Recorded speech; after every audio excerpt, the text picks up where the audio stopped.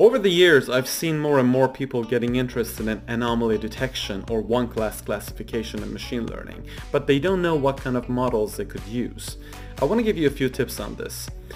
For example, you have traditional multi-class classifiers like MLPs or multi-layer perceptrons.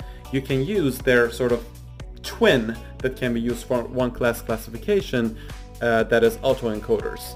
Um, for example, you have SVMs or support vector machines for traditional classification, but you can use one class SVM or OCSVM that you can import from scikit-learn just like you would any other scikit-learn model.